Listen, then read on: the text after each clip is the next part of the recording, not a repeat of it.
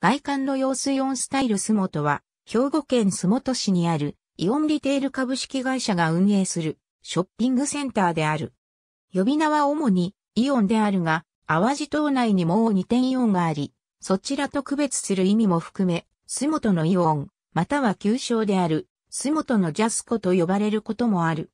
市内だけでなく島内でも最大級の商業施設であり、休日は買い物客も多く集まるため、広い駐車場はほぼ満車となる。以前は駐車場の利用料金は不要であったが、回転率を良くするためもしくは、洲本市文化体育館が完成した影響で、最近は駐車券を受け取りゲートを通らないと駐車できなくなった。駐車券は帰り際に出口ゲートで機械に入れ、画面に滞在時間と料金が表示される。120分を超えると料金が発生する。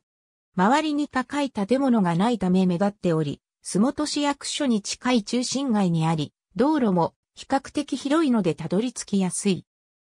かつては本町7丁目のリベラル洲本店の2階、3階で医療品、玩具等の販売のみ行っていたジャスコ洲本店を1985年に金棒洲本工場用地の一部であった現在地に移転したものであるため店舗名がジャスコ新洲本店になり、2011年3月1日にイオンス元店に、2019年9月13日にイオンスタイルス元になった。2011年2月28日以前イオンに解消される前は屋上に設置されているジャスコの看板が通常はピンク地に白文字であるが当店は珍しくそれが反転した白地にピンク文字である。などなど。ありがとうございます。